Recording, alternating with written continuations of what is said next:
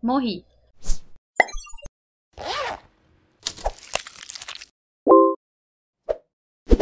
Olá todo mundo, eu sou a Isa e no vídeo de hoje eu vou falar um pouquinho sobre o que aconteceu desde o meu primeiro vídeo sobre a faculdade e também eu vou falar sobre o meu primeiro trabalho da faculdade, que foi meu primeiro jogo. Sim, eu já tive que criar um jogo em uma semana de aula, duas, então pra vocês verem como é, né? Se você não, não caiu de paraquedas aqui e falou, oi, o que tá acontecendo? Eu faço jogos digitais na PUC Paraná, eu ainda não sei onde colar esse adesivo, talvez aqui atrás pra ficar bem bonito. E essa é a minha série Universo de Jogos Digitais, onde eu falo sobre a minha faculdade. Tem vídeo de como eu escolhi no meu primeiro dia de aula e agora os primeiros updates. Então vamos lá. A primeira coisa que aconteceu comigo, assim, no terceiro dia de aula, eu fiquei insegura e não em relação à minha escolha do curso, mas sim em relação. Na verdade, foi bem besta, mas eu vou falar porque, como eu falei, eu vou contar tudo sobre essa minha jornada para eu mesma no futuro lembrar e para ajudar quem também tá nessa situação ou quem possivelmente poderá estar. Então, assim, né? Mas eu tive uma insegurança muito grande em relação ao meu estilo de jogo com o estilo de jogo das outras pessoas. Como assim? Nos primeiros dias tem aquelas apresentações,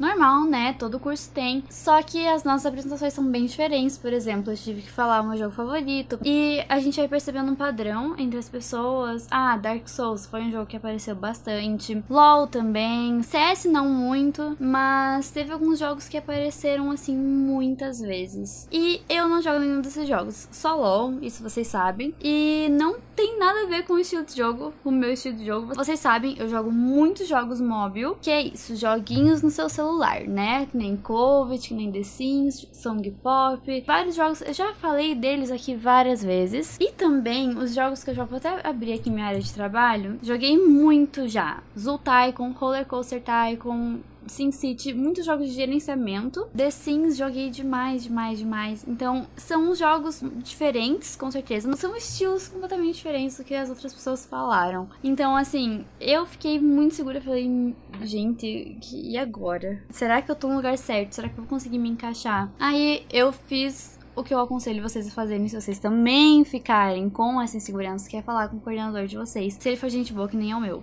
Mas eu fui lá, falei pra ele assim: olha, meus jogos são totalmente diferentes. Eu não sei se isso vai me prejudicar em algum momento. E ele falou que eu tava bem doidinha da cabeça. Mentira, ele não falou isso, mas ele falou que não tem problema algum, isso não tem nada a ver. É até melhor, porque eu vou trazer uma visão diferente das outras pessoas. Por exemplo, meu primeiro jogo, tenho certeza. O estilo dele é o mesmo, mas a estética, a ideia, eu tenho certeza que ninguém fez igual. Eu não cheguei a ver todos os jogos que as pessoas fizeram, mas eu tenho certeza.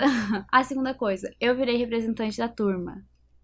Não me vem com aquele papo, ai, se ferrou, muita responsabilidade, ai, você é muito burra, por que fazer isso agora, no começo do ano? Gente, não tem nada a ver. Se precisar falar com o coordenador, porque a gente não tá gostando desse professor, quem vai resolver isso sou eu. No caso, quem vai falar com o coordenador, ai, não tá dando certo essa aula, não tá dando certo aquilo, as pessoas não estão gostando disso. Então, assim, eu vou ouvir reclamações e eu também tô aqui pra ajudar quem precisar, né? Eu já falei isso na sala, vou repetir aqui também, se você não é da minha sala, eu tô aqui, tá? Se você precisar falar comigo, se tiver com uma insegurança, qualquer coisa, tô aqui. Minhas redes sociais estão sempre aqui embaixo, você pode falar comigo. Só se identifique se for no Facebook, porque eu não aceito qualquer um, só aceito meninas. Então, se você, né, quer falar comigo, assim, socorro, tem um problema? Mande uma mensagem. Terceira coisa, antes de falar sobre o meu jogo, eu peguei uma matéria em inglês chamada Creative Thinking. Eu faço essa matéria somente com pessoas estrangeiras, tem um brasileiro na minha sala, porque a PUC tem muitos programas de intercâmbio. Então, assim, é uma matéria completamente em inglês. É para desenvolver o pensamento criativo, né?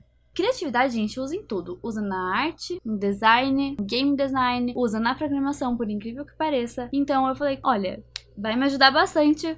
Vamos lá. Então eu peguei essa matéria, faço ela toda segunda tarde, mas bem tranquila. Eu gostei muito. Eu só queria dar esse Olá, caso você estude na PUC, em alguma PUC, não sei se nas outras tem, que tem o English Semester que tem, dá essa oportunidade para você exercitar o seu inglês, né, gente? É muito necessário, porque, olha, eu não vou viajar para os Estados Unidos tão rápido, né? E agora vamos falar do meu jogo. Primeiro, quais eram as orientações? O que a gente tinha que fazer? A gente tinha que fazer um jogo top-down. Se você não sabe o que é um jogo top-down, eu vou te mostrar agora. Os jogos top-down são esses jogos que têm a visão de cima. Então você vê a pessoa, você vê a cabecinha da pessoa assim, ó. Você vê a cabeça dela, os pés, a animação. Então, assim, aqui tá ótimo, você está pra enxergar, mas tem uma pessoa aqui E você só consegue ver a cabeça e os braços porque ela tá nessa posição. Todo o mapa é visto de cima. Então a gente tinha que fazer um jogo top-down, não nessa qualidade, né, gente? Calma.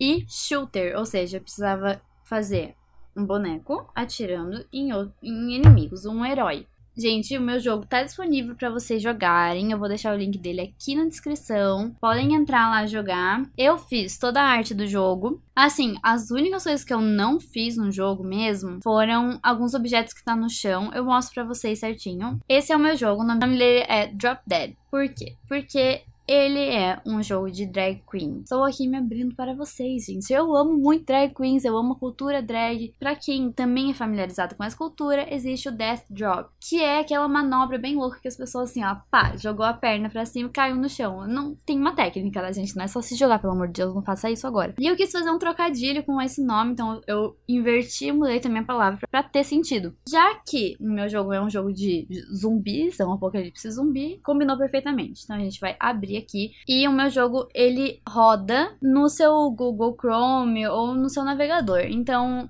qualquer um pode jogar, é bem tranquilo. Ele tem som, porém eu não sei se o som vai me dar problemas. Então, esse é o início, gente. Eu fiz tudo isso usando o software Construct 2. E ele é difícil, tá? Talvez eu não consiga ganhar o meu próprio jogo.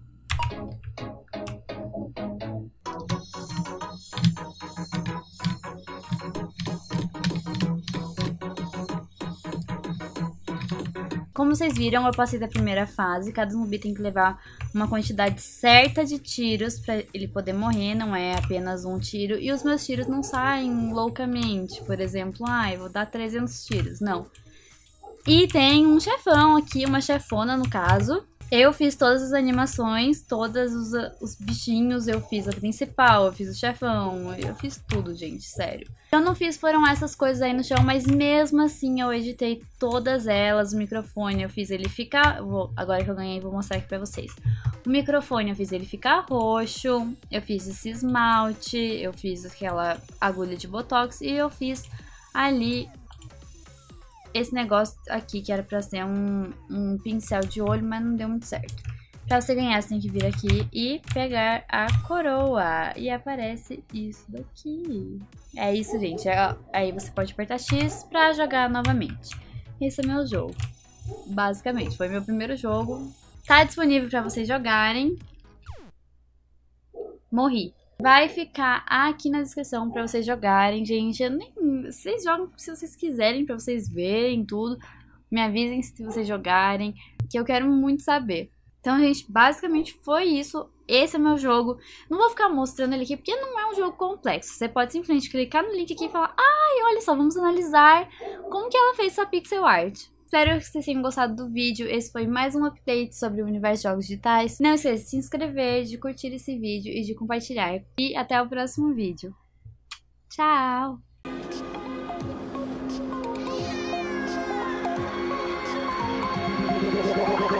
like a Hellcat.